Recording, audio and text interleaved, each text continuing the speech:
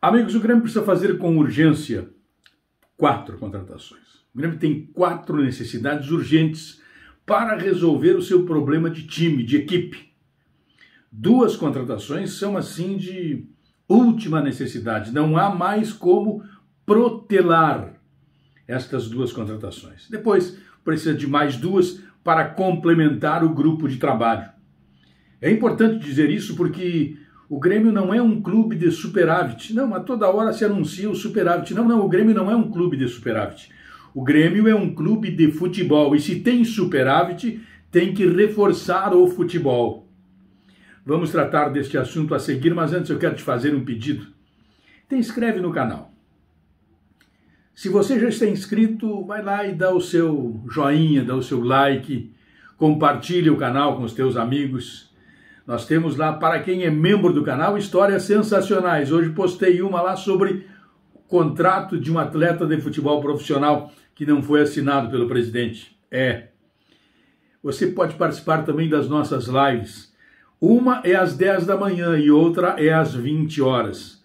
Traga a sua opinião, eu leio na íntegra a sua opinião sempre, sempre, sempre. Vamos conversar sobre futebol. Compartilhe o canal com os teus amigos. Este é o canal Darcy Filho Sem Off. Bem, vamos tratar então desta questão do Grêmio, de reforços que o Grêmio precisa. O Grêmio precisa com urgência, antes de qualquer coisa, de um lateral esquerdo, porque todos que tem não servem.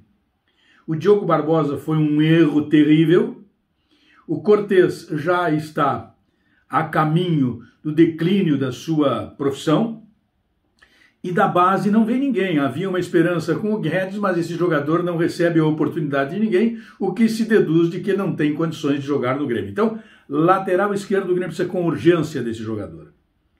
O Grêmio precisa de um jogador para o meio de campo, aquele camarada que sente o jogo, que pense o time, que faça o time jogar que dê velocidade quando preciso, que trave, que prenda o jogo, que saiba jogar com os companheiros, que preocupe os adversários. Exatamente.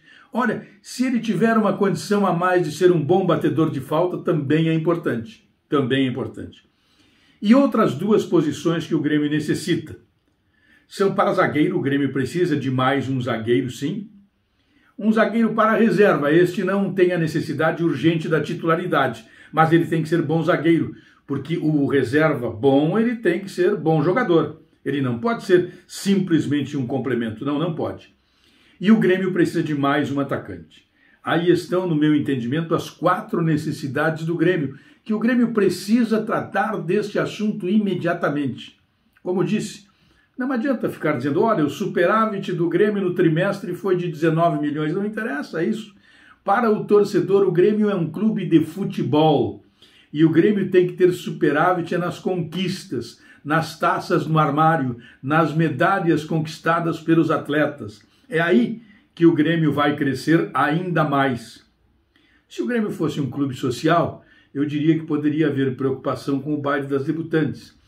Se o Grêmio fosse uma escola de samba, eu poderia dizer que a preocupação principal teria que ser com o desfile do carnaval. Mas não, o Grêmio é um clube de futebol. E o importante para o Grêmio é ganhar, vencer, ter um futebol organizado.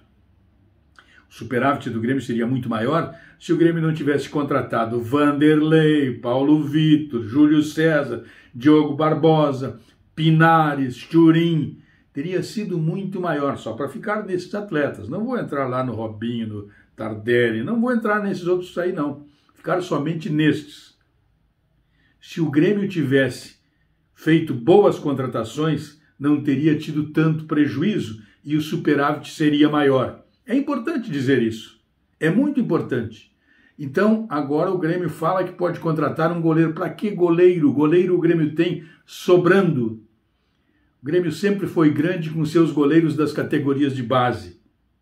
E agora não seria diferente. Portanto, reitero, o Grêmio precisa de quatro contratações para aspirar daqui para frente o título nacional, os títulos nacional e os títulos internacional. É isto que o Grêmio precisa. O Grêmio precisa se organizar nesta direção, nesta direção. O Grêmio precisa contratar um lateral esquerdo, esta é prioridade número um, um jogador de meio de campo, prioridade número dois. depois um zagueiro reserva à altura dos titulares e mais um atacante também à altura dos principais atacantes do Grêmio. Como disse, o Grêmio não é um clube de superávit, o Grêmio é um clube de futebol. Um abraço.